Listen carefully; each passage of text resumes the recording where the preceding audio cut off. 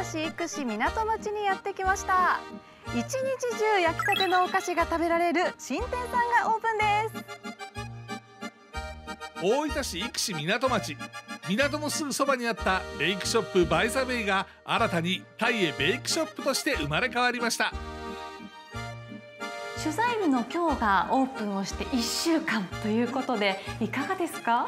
おかげさまでたくさんのお客様に来ていただいて2回目とあの3回目と来てくださってる方もいらっしゃって大変嬉しいです。すでにリピーターの方もいらっしゃってるんですね。入ってすぐ目に飛び込んできたのがこの可愛らしい焼き菓子コンセプトとしてはどういったところがあるんですか？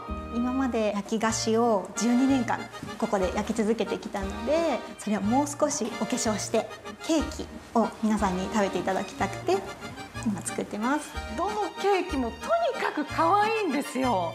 まずオレンジキューブケーキとか紅茶とリンゴのケーキそれからスコーンもあってやっぱり見た目意識されてます？どうやったら可愛くなるかなどうやったら美味しくなるかなって言ってみんなでイメージを共有して開発しました。これホールケーキですよね。はいご予約をいただければホールで買っていただくこともできます。誕生日とかいいかもしれないですね、ね、お友達の家に行く時とかにも持っていかれると喜ばれるかなと思います。では今回私がいただくおすすめのケーキはどれになりますか？レモンマフィンとキャロットケーキ。はい。とっても人気がありますあと個人的にもう一つ気になって食べたいものがあってこのレッドベルベットケーキも、はい、今回一緒にいいですか、はい、近くの簡単公園にやってきました。爽やかな海風を感じながらまずいただくのはキャロットケーキです。クリームがたっぷりで結構大きいですよね。ずっしりとした感じもありましたよ。フォークを入れた感じも結構重いですね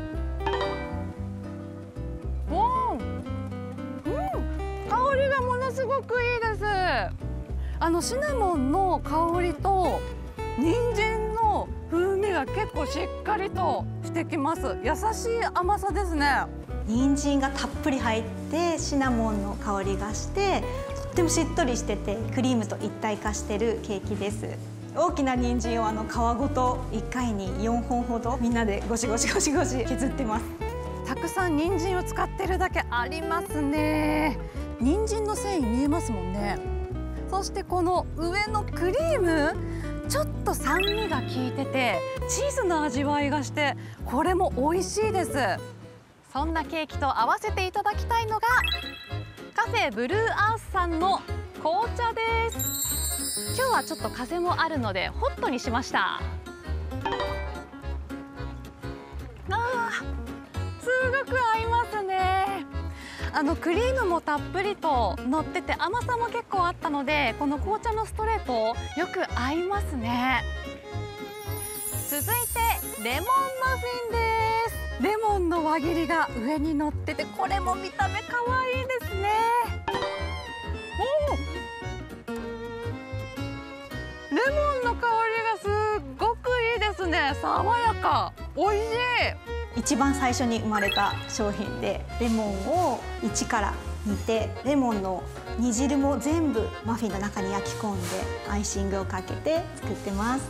焼き菓子でここまでレモンの風味を感じられるのはなかなかないかもしれないですね。私このケーキ好みです。最後は私が気になっていたレッドベルベットケーキです。真っ赤な見た目に惹かれたのと海外の私ドラマとかちょっとポストカードで見たことあるんですよねこの感じ。おしゃれですよね。